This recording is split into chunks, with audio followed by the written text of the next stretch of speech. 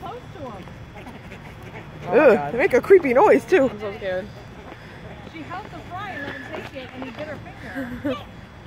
yeah, well, they oh! take it right from you. No, no, don't, don't chase him.